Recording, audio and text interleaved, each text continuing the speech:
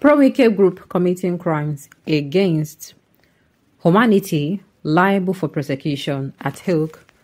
Coalition speaks. They condemn use of explosives and bombs against OpenNet.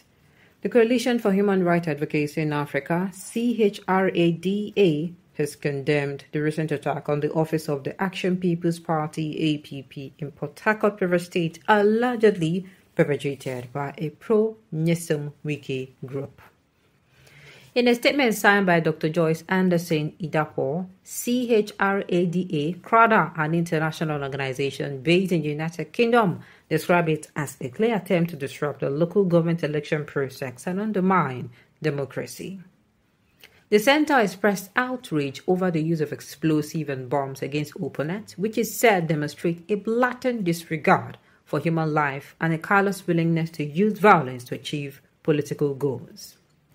CHRADA CRADA noted that this is not an isolated incident, as the same group of politicians have previously used explosives to bomb public buildings and persons during a supposed political event in Port Harcourt.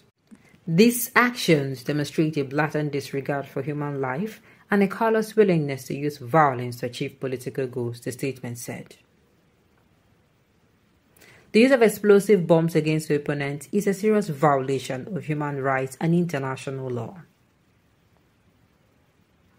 CHRADA believes that the pro-Wike group is liable for prosecution at the International Criminal Court in Hague for these atrocities. We will not stand idly. We will not stand idly CHRADA believes that the pro-Wike group is liable for prosecution at the International Criminal Court in Hague for these atrocities. We will not stand idly by while innocent lives are lost and democratic processes are undermined. The center is deeply concerned about the escalating violence in River State and its impact on the civilian population. Women and children are disproportionately affected by these attacks, and it is our duty to protect them. We urge the Nigerian government to take immediate action to protect its citizens and hold perpetrators accountable. CHRADA Crowder therefore calls on the international community to take notice of these crimes against humanity and support efforts to bring those responsible to justice. It warned that the recent resort to use of non-state actors to perpetrate violent crimes only possible in war situation will spell doom for the oil-rich Niger for the oil-rich Niger Delta region if not tamed by authorities. Quoting from Common Article 3 of the 1949 Geneva Conventions, the center said the law prohibits violence to life and person, in particular murder of all kinds, mutilation, cruel treatment, and torture. The statement added, We will continue to advocate for the right of victims and push for accountability no matter how long it takes. The pro-Wike group must be held accountable for their actions. We demand that they cease the violent behavior immediately and engage in peaceful political discourse. Failure to do so will result in crowd advocating for their prosecution at the ICC. Furthermore, we warn that the recent resort to use of non-state actors to perpetrate violent crimes only possible in a war situation will spell doom for the oil-rich Niger Delta region if not tamed by the authorities. The lack of prosecution of the culprit is another dangerous law for the Tinubu administration effort to tame terrorism in the northeast, northwest, and part of the south. If left unchecked, this trend will not only undermine the legitimacy of the government, but also embolden other groups to adopt similar tactics, leading to a breakdown of law and order and a potential descent into chaos. We urge the government to take immediate and decisive action to address the situation, bring perpetrators to justice, and restore peace and stability to the region. And I asked this question what thing happened? Kilde, what's the problem? What's the matter? It not make sense, you. As in, when I mean it not make sense, I mean the katakata way for River States.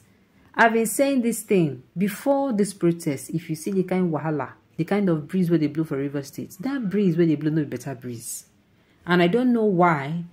It's not I don't I don't know why. I know why the government, most especially the government at the center, that is federal government, don't refuse to put mouth inside this thing so that before this thing go turn another wahala wey dey for south how boko haram use start make una no forget na so small small small small small small e turn before you know it it become fully blown if i go turn to matter wey be say dem go need to dey do uh, call state of emergency for which i know say na wetin dem want before you go turn that matter why not make everybody bury the hatchet? E don do.